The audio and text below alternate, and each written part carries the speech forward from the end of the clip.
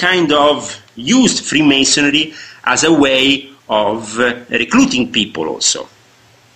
So uh, I think above a certain level of understanding, we go up, you know, you, you are above good and evil. Uh, because uh, this is how uh, the initiate is brought to believe himself to be a, a sort of God. When he's brought through the paths of initiation until he understands that there is no good or evil. Okay?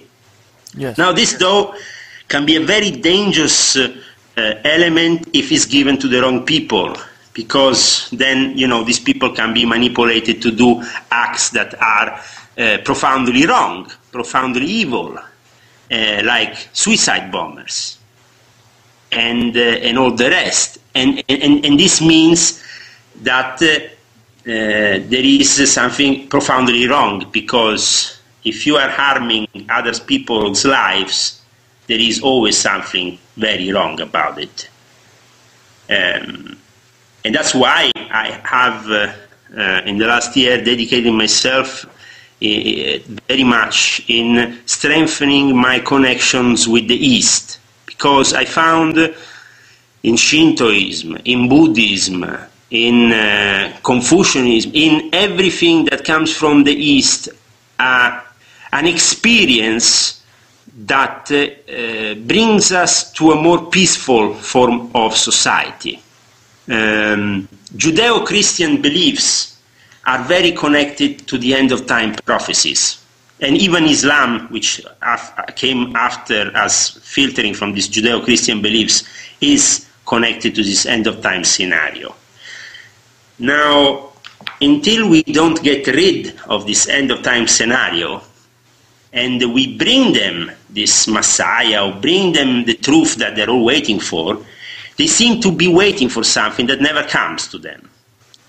And they're also, in the meantime, treating the subjects we, we have been discussing in our uh, last uh, radio show in a way which is uh, profoundly wrong. In fact, uh, when we have been talking the last time, I don't know if you remember, we also talked about burning books. No? Right. Yeah burning books is something profoundly wrong because when you start burning books uh, and, and burning uh, knowledge, it means that you are scared of that knowledge.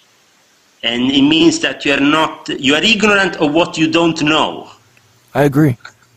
And if you know it instead, you can just say, okay, this is negative. Okay, we know that is negative. I mean, if you conjure up certain demons, you get certain uh, mm, certain uh, catastrophes. You you get uh, you know the, the, the thing that people don't understand maybe in this day and age is that these forces are able to manipulate nature much better than an HAARP machine. Uh, a lot of conspiracy theories talk about this machine called HAARP um, which is supposed to be able to manipulate the weather, to manipulate, uh, uh, even to create earthquakes and all the rest. Well, it, uh, I, it, it bends the ionosphere, so you've got the microwaves that. Sure, yeah. sure, sure. But who has given this technology to mankind? Uh, somebody did. well, we know that that somebody is a spirit. Because uh, we know that all the inventions that are actually have brought forward the humanity in the last three centuries, including TV, came out of occult backgrounds. People deeply involved in the occult. People that were, like Isaac Newton, alchemy students. People that will never do anything without consulting their astrological charter. People that were deeply believing in certain truths Obviously, we don't like to talk about that. You know, we like to say, "Oh, Isaac Newton, he's a scientist. He will never, you know, whatever." You know, you just see the, you know, we are very pragmatic. You know, right. And that's because, unfortunately, we go back to what we discussed at the beginning of this show today. People like Giordano Bruno, who were actually attempting to finally disclose a science which has been there buried for thousands of years in the ancient mystery schools tradition, has not been uh, unfolded yet because of the very big interest that people like the Vatican or the Grand Council of Rabbis or uh, whatever imams or, or, or, or muftis in, in, in, the Middle East have is, are, it, there is always a mafia on the knowledge, on the secret knowledge, on how to deal with these demons, with these angels, with all this world which for the modern man doesn't really exist. Because the, the incredible thing is that they were clever enough to push us into not believing in anything. Right. And the moment in which we don't believe in anything, we are actually completely in their hands. I think, Todd, that it's very important that people study in regards to Haiti the connections of Martinez de Pasqually uh, with the Illuminati, which are really historical connections. There's no rubbish there. There was a person called Hector de Jamin. This is connected to what is uh, known as the OTOA, OTOA, the Ordo Templi Orientis Antiqua, which is a branch of Crowley's tradition that is connected to the voodoo tradition. And it's connected to the voodoo tradition because a disciple of uh, uh, Crowley, a disciple of the dark side of the Illuminati, ended up even marrying with the head of the uh, Bokor, the head of the voodoo darkest side in Haiti, and they even produced, uh, I think it was around 1921, a magical child called Hector Jamin. And so, I mean, this is actually evidence which you can find if you go and search for it on the internet. And, and, and if that hard evidence is there, okay, then I accept it. So I would say to people, go and study, uh, find this evidence, and make your own, your own conclusions.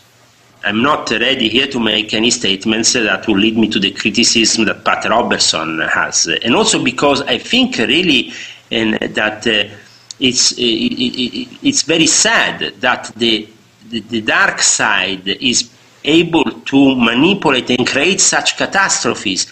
But this, unfortunately, is uh, the, the, the, way it is these days.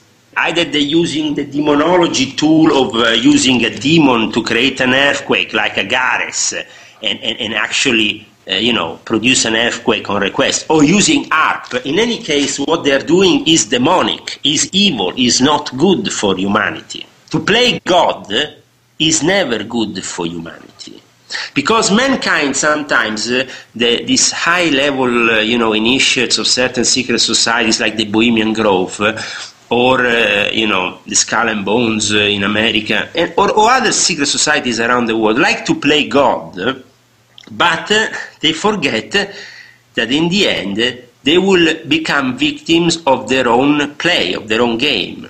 And, and, and, and, and this has always happened um, in mankind since the beginning of time. They always bec- I mean, sorcerers always become victim of their own evil game. And, um, and, and, and so even Cleopatra, Cleopatra was a very high level magician. She was able to uh, to bring uh, the whole Roman Empire to a still, to actually brainwash Julius Caesar, the most powerful man in the empire. But how did it all end up? Pretty bad. Yeah, so, so I mean, this is what, what I'm saying. I, I will always, I mean, you can use certain forces and maybe, you know, the, the, the, Central Intelligence Agency, the Pentagon, can use certain forces, but the result of using certain forces is unpredictable. And so, in the end, I would say that we should, uh, in the next few years, uh, unleash in a more scientific fashion this secret knowledge to the world, make them participate to this great evolution of mankind, but at the same time, Todd, this will mean the end of those dogmas, false dogmas that are, you know, engraved in these religions that are driving mankind to